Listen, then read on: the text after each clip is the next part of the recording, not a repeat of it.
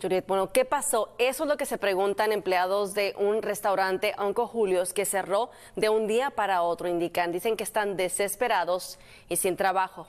José González habló con algunos de los trabajadores y también con una organización que aboga por derechos laborales. José, buenas tardes. Buenas tardes, exactamente qué pasó es la gran pregunta y justamente nos encontramos enfrente de esta sucursal que fue cerrada esta semana. Hablamos con algunos trabajadores que dicen trabajaron aquí por décadas y aparte de tristes, dicen estar muy preocupados porque tienen que mantener a sus familias. Con un futuro incierto, dicen sentirse estos trabajadores que se manifestaron afuera del restaurante, donde algunos de ellos laboraron por décadas, como Sandro, quien es padre de dos hijos. Él asegura que trabajó en ese lugar por 28 años. Somos seres humanos, estamos tristes, no sabemos qué hacer.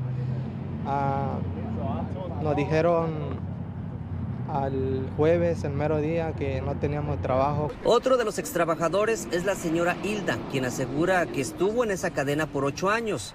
Y además de sentirse indignada, dice estar preocupada, porque según nos cuenta, por su edad teme no encontrar trabajo pronto. Pero también no es justo de que nos hayan corrido prácticamente así, de un día para otro. La sucursal de la cadena Anco Julios, que cerró sus puertas esta semana, está ubicada en el 855 al oeste de la avenida North. Y en la puerta fue colocada una nota que en parte dice que tuvieron que tomar la difícil decisión de cerrar de manera permanente esa sucursal. Agradecen el apoyo de su clientela. Además explican que se le ofreció empleo a su equipo en otras sucursales.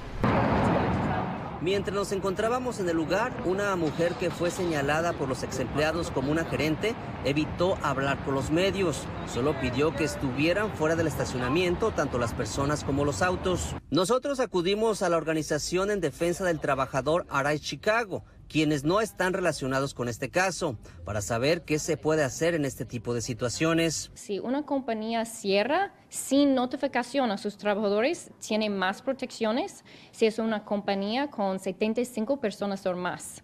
Necesitar ah, dar a esos trabajadores 60 días de notificación o 60 días de pago. Pero aclaró que se tienen que tomar en cuenta varios factores, por lo que recomiendan comunicarse con la Oficina de Normas Laborales de Chicago al 312-744-2211. Otros empleados aseguraron que sí les ofrecieron transferirlos a otro restaurante, pero no de tiempo completo. Cabe mencionar que esta es la única sucursal que está cerrando sus puertas. Nosotros también intentamos hablar con la cadena para saber más al respecto, sin embargo, hasta ahorita estamos esperando su respuesta. En vivo, José González, Noticiero Telemundo, Chicago.